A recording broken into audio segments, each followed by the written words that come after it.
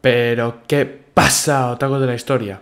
E, esta es la parte 3 de esta serie que estoy haciendo, que al final va a quedar aún más larga. No me lo esperaba, la verdad, pero bueno, hay que explicarlo todo bien, porque además este es un tema bastante polémico. Pero nada, que no me rollo más. Vamos con el vídeo.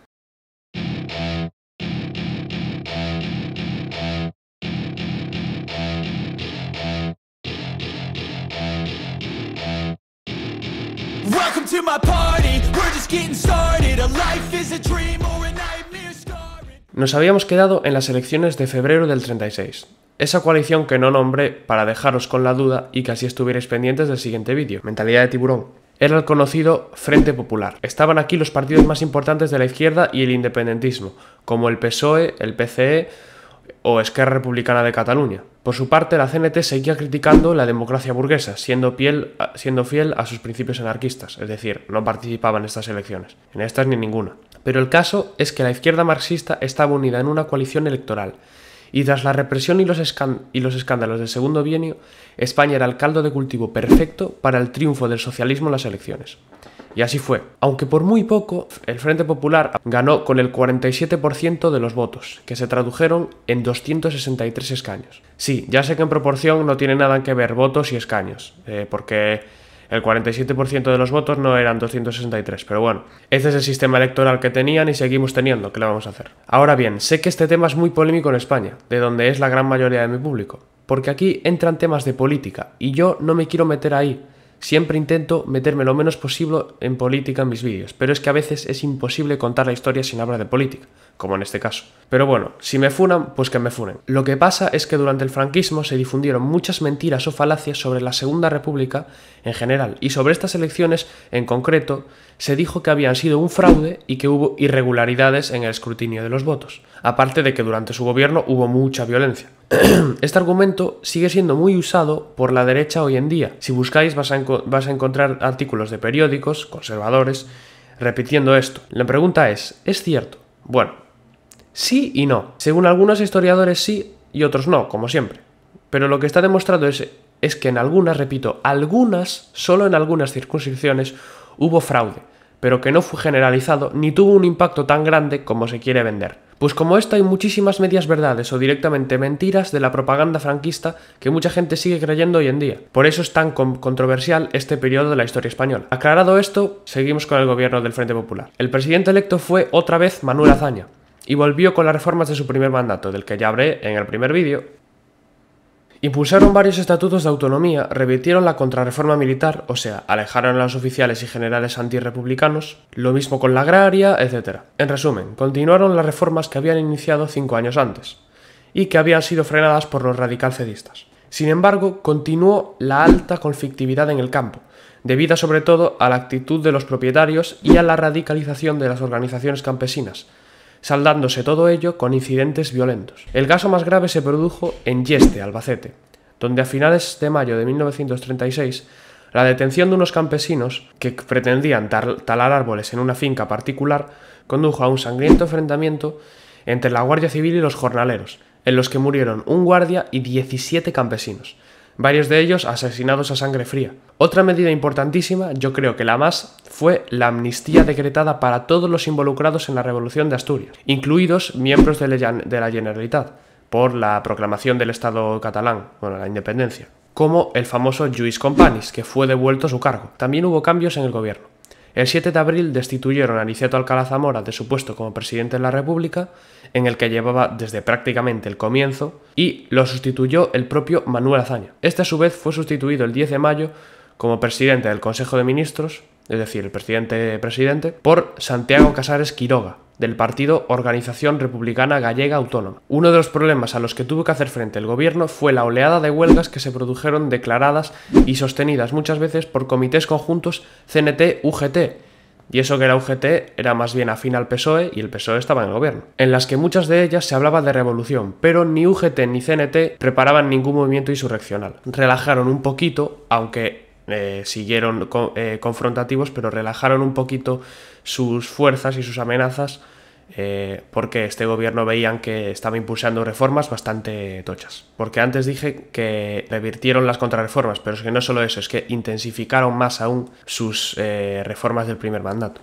Otro de los problemas del gobierno de Casares Quiroga fue la división interna del PSOE, que era el partido más importante del Frente Popular. Se dividieron entre el ala caballerista de Algo Caballero, que defendía la vía revolucionaria, y el ala prietista de Indalecio Prieto, que defendía la pacífica. También aquí hay que tener en cuenta el decantamiento cada vez más acusado de la CEDA hacia posiciones antirrepublicanas. Otro de los problemas fue el aumento de la violencia política provocada por la estrategia de la tensión, desplegada por la Falange. Tras el triunfo del Frente Popular y unos resultados catastróficos para la falange española de las Hons en los comicios, esta formación alentó y participó en la escalada de violencia en la confrontación que ya mantenía con socialistas y comunistas, incluyendo tiroteos con muertos, atentados y demás acciones terroristas. Entre abril y julio, los atentados y las reyertas protagonizadas por falangistas causaron más de 50 víctimas entre las organizaciones de izquierda, la mayoría de ellas en Madrid. Unos 40 miembros de la Falange murieron en esos actos o en atentados de represalia de organizaciones izquierdistas. Esta estrategia de la tensión, protagonizada por los pistoleros falangistas, que fue respondida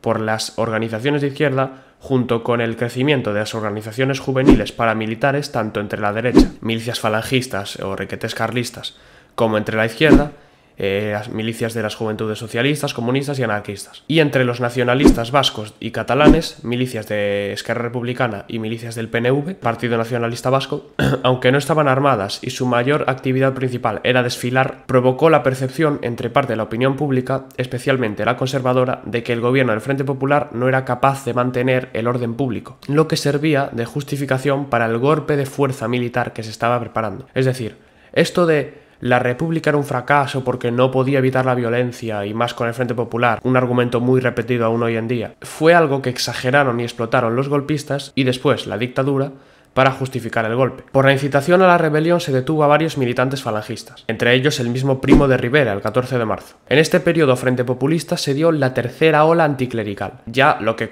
lo que culminó la criminalización franquista de la República. La guinda del pastel del argumento estrella de, los franquistas contra la República, donde un centenar de iglesias y conventos fueron asaltados e incendiados, aunque entre las víctimas de la violencia política de febrero a julio no hubo ningún miembro del clero. Según el estudio más completo que se ha realizado sobre las víctimas mortales como resultado de la violencia política entre febrero y julio de 1936, antes de iniciarse el golpe de Estado, hubo un total de 189 incidentes y 262 muertos, de ellos 112 causados por la intervención de las fuerzas de orden público. De las 262 víctimas, 148 serían militantes de la izquierda, 50 de la derecha 19 de las fuerzas de orden público y 45 sin identificar. Pues toda esta violencia y tensión era un polvorín que con una pequeña chispa iba a estallar. Y esa chispa fueron las dos balas que impactaron en la nuca del líder de Renovación Española José Calvo Sotelo el 13 de julio de 1936. Salieron de una pistola disparada por un militante de la milicia socialista La Motorizada, que junto a otros militantes, algunos, de, algunos guardias de asalto, dirigidos por un guardia civil, eh, detuvieron al político monárquico para vengarse en represalia por el asesinato el día anterior del teniente socialista Castillo, amigo del guardia civil y también militante de la motorizada, que fue asesinado por, falangistas. Esto fue la gota que colmó el vaso. Miembros socialistas de las Fuerzas Armadas del Estado acababan de matar a sangre fría a un diputado, y uno muy importante. Recordemos que su partido, Renovación Española, era aliado de la CEDA. Así, los generales que ya llevaban meses conspirando para planear una sublevación dejaron de tener ninguna duda sobre qué hacer. Pero repito, llevaban ya meses conspirando. Aunque participaron muchos militares, los principales artífices del golpe fueron los ya mencionados Emilio Mola, Sanjurjo y, como no, Francisco Franco. Pero este golpe de Estado no fue tan fácil como el del 23. Gran parte del ejército era leal a la República, por lo que solo contaron con una parte, aunque no pequeña, para el golpe. Obviamente, la CEDA, la Falange, los carlistas y todos los fascistas apoyaron rotundamente a los conspiracionistas, aunque tuvieron sus discusiones entre ellas. El plan del general Emilio Mola era un, levantamiento coordinado de todas las guarniciones comprometidas, que implantarían el estado de guerra en sus demarcaciones, comenzando por el ejército de África. Eh, toda la sublevación, la mayoría se planeó y empezó en Marruecos. Pues venga, vamos con la mandanga. Hemos llegado a cómo empezó esta serie. Golpe de estado.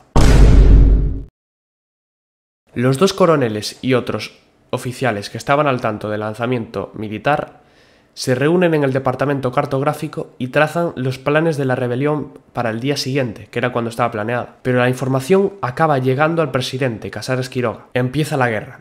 Una patrulla de soldados y guardias de asalto se dirige a registrar el sitio, pero los sublevados lo defienden con un grupo de legionarios ante los que la patrulla se rinde. Así, el golpe se adelantó un día. Al día siguiente, la sublevación se extiende a la península y de ahí al resto del territorio español. El resultado fue el fracaso parcial de la sublevación. Parcial, porque el país quedó así. Una parte controlada por los golpistas y otra por los republicanos, que incluía Madrid, Barcelona, Valencia, Málaga, Almería, Asturias, Cantabria y Euskadi. O sea, que no pudieron hacerse con muchas ciudades y zonas cruciales. Ahora, en mi tierra Galicia casi no hubo territorio que no cayera. Pero bueno, el caso es que lo importante del golpe fue que fracasó, en parte, porque si no, no se hubieran formado dos bandos y no hubiera habido guerra. Pero gracias a la resistencia en muchas partes de España de milicianos y de los leales a la República, no triunfó en, hubo un gran territorio en el que no triunfó y por eso se formaron los dos bandos y de ahí empezó la guerra. Con esta división, los dos bandos que se crearon fueron el sublevado, después conocido como los nacionales,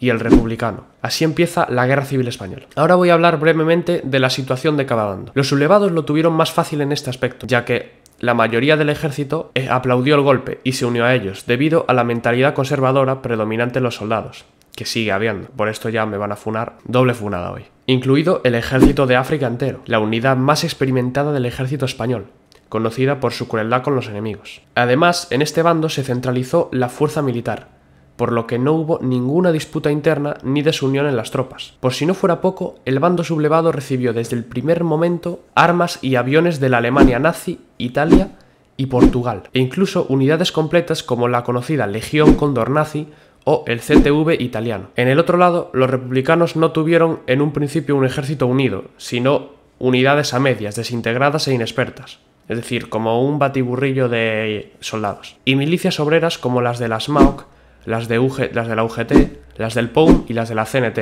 que aunque eran fuertes, sobre todo las anarquistas, no faltaron en ellas sospechas de traición y en concreto en las cenetistas oposición al ejército republicano, que consideraban una institución burguesa, recordados. Es decir, en un principio, durante unos meses y bastante tiempo, la, República dependía más de milicias que de su propio ejército. No fue hasta que Largo Caballero llegó a presidente el 4 de septiembre que empezó a militarizar las milicias que tarde o temprano se acabaron integrando en el ejército. Y no fue hasta el año siguiente que se creó oficialmente el Ejército Popular de la República. Esta oposición anarquista y de algunos marxistas a la República burguesa, lo que se tradujo en enfrentamientos internos en el bando republicano, fue el problema más grande que tuvo la República. Además, el único país que ayudó considerablemente al bando republicano fue la Unión Soviética, que entregó armas, tanques y aviones, aunque no empezaron a llegar hasta octubre y la ayuda fue interrumpida varias veces. Encima, los potenciales aliados occidentales de la Segunda República, Francia y Reino Unido, firmaron rápidamente un pacto de no intervención, al que se sumaron muchos países, rechazando ayudar a un gobierno legítimo y democrático de un golpe de Estado fascista, porque no querían meterse en los asuntos de otro país y no quería que hubiera una guerra, entonces como eran pacifistas, ellos no se metían, claro, como si no se hubieran metido en otras guerras. Pero la mayor muestra de solidaridad con los republicanos fueron las Brigadas Internacionales, creadas en octubre del 36 y compuestas por voluntarios de más de 50 países reclutados por la Internacional Comunista para, para auxiliar al bando republicano. Muchos de estos combatientes eran comunistas o anarquistas, por lo que acabaron integrando batallones y milicias de estas ideas. Se estima que entre 35.000 y 60.000 voluntarios antifascistas de todo el mundo se alistaron como brigadistas para combatir al fascismo en España. Honor y gloria para todos los brigadistas caídos en la lucha antifascista. Bueno, que se me va. Y dije que no me iba a meter en política. El caso es que con los dos bandos controlando grandes zonas, luchando encarnizadamente para defender sus posiciones y ayudados por potencias extranjeras, esto era una guerra civil en toda regla. Así empezaba la sangrienta Guerra Civil Española que desangraría al país durante tres años. El gobierno republicano, al enterarse de la sublevación, comenzaba a enviar columnas de soldados y milicianos a sofocarla y a combatir a las tropas franquistas en varios frentes. Uno de estos frentes fue la Sierra de Guadarrama, en Madrid, mientras las tropas rebeldes tenían como objetivo principal llegar a la capital, donde se daría una de las más duras batallas de toda la guerra y una resistencia republicana feroz. Pero antes de eso serían frenadas por estas columnas republicanas, como dije antes, en la Sierra de Guadarrama. Así, el 19 de julio empezaba la primera batalla de la guerra, la batalla de Guadarrama. Si quieres saber cómo sigue esta historia, que ya se está poniendo interesante, no te pierdas el próximo vídeo. Y bueno, ahora que ya os he dejado eh, otra vez con la intriga de cómo va a acabar esta guerra, me despido ya. Eh, hasta aquí el vídeo, espero que os haya gustado. Si os es así, darle like, compartir, comentar en la caja de comentarios, suscribiros, activar la campanita y nos vemos en el próximo vídeo. Adiós.